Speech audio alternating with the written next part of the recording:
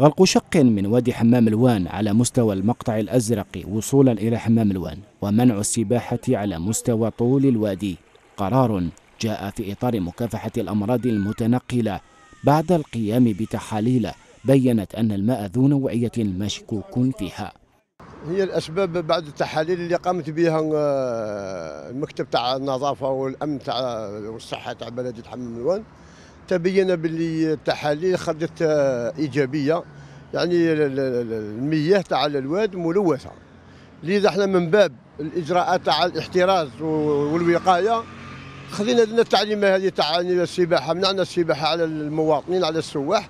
مواطنين البلدية والسواح اللي يجونا يعني من جهات أخرى يعني. وما حتى تبقى يعني طول. إحنا يعني آه، تكلمنا مع الموارد المائية باش نشوفوا كيفاش نمسحوا نعملوا مع عمليه مسح للواد. ربما كاش أمور راكدة يعني في الواد ولا حاجة اللي رايدين في الأمور هذه. لذا إحنا نديروا المسح للواد وإن شاء الله ما يكون غير الخير بإذن الله. قمنا بزيارة أحد المناطق السياحية بحمام الوان تقربنا من الشباب العامل هناك. فعبروا عن صدمتهم بالخبر خصوصا في هذه الفترة التي تشهد إقبالا كبيرا للسياح. مرض إحنا قاعد نشربوا منه نبداو ما إحنا هذه بريود نستلصقوا فيها إحنا عندنا رصيصه قاعد تسعة شهور ما عندنا والو حمام الوان.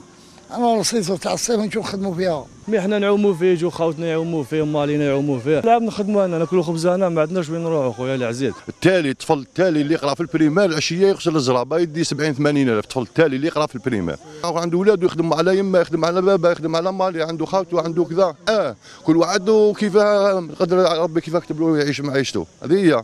عندنا في العام السنة والشهرين هذه كيف باش نستناو فيها؟ كاع الناس تستنى فيها كاع الناس تشوف صرف دراهم قرار غلق مؤقت لغاية التأكد من صلاحية مياه الوادي وتنظيفه.